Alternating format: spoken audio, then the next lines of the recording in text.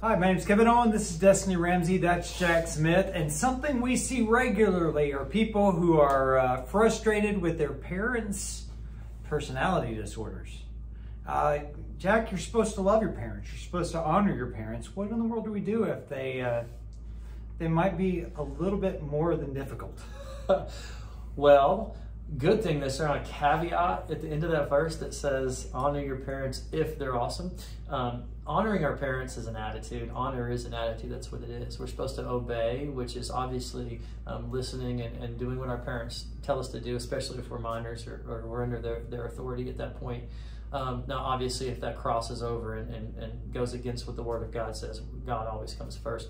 But if they're not going against the Bible and having us do things that are hurting us or harming us or abusing us, we're supposed to obey and we're supposed to honor. Uh, having a good attitude doesn't mean we're going to like it, um, but we can learn a lot from not only what our parents do right, but what they do wrong.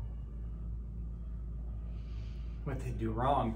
You know, there's another thing that we can do, and this video is assuming that we're talking to an adult. If you're a child and you're under your parents' roof and you're there, uh, what you do with your parents' personality disorder is learn to play the game and become autonomous yes. so that you're not dependent upon them. Now, if you are an adult uh, and your parents have uh, a, a, pathological level of difficulty, uh, what we would also say is learn to set boundaries. Whenever I, uh, when I go to buy a car, I don't ask the dealer what he thinks I can afford. No, I walk in and I know what I can afford. I know what I want my payment to be or what I want the total to be, and I pick out what I would do there.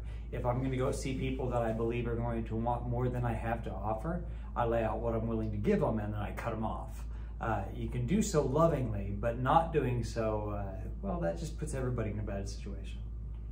It's also important to know that not everybody is like your parents. If your parents are difficult, not everybody is going to be difficult, and you don't have to react the same way as them, and you don't have to react to them as the way you would your parents. It's you're your own person, and you get to choose who you're going to be, whether that's like them or whether that's not. When my uh, my mom used to talk about her upbringing, and uh, she she referenced that there were times when her parents were considerably less than kind and she grew up to be one of the most kind people that I've ever known, very intentionally so, seeking out places to be kind. What Jack said earlier about learning from the wrong example is a very valid thing. You can see the kind of person you want to be in your parents, and you can see the kind of person you don't want to be and Who you become, especially since we're talking to adults, it's up to you. Absolutely. And you know, we're not forced or obligated. It's not our duty to um, be BFFs with our parents for the rest of our lives. This, I mean, again, honor your parents, you know, and, but but like we talked about earlier, setting boundaries. That's how it should be with every relationship. If somebody's toxic or somebody's causing you problems, it's it's again, if even if it's your parents, it's not your obligation then to put yourself in that that fire all the time. Set boundaries, and if they don't want to abide by those boundaries, that's it's a tough call, but you have to make it. Parental. Oh no, go ahead. Uh, it's also important to remember that that in setting boundaries, you're showing them love and showing them how you they can love you better.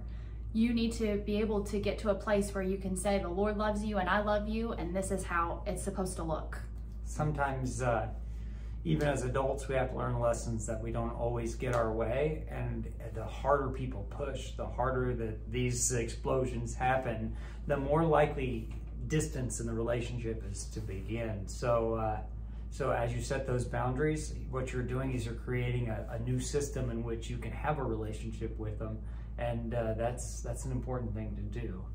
Now, parental dynamics is not uncommon in the counseling world, as Freud would reference. It's probably your mother. Um, if you want to learn how to better navigate uh, parental dynamics, uh, well, a little counseling sometimes helps a lot. And I know some counselors, if you'd like some.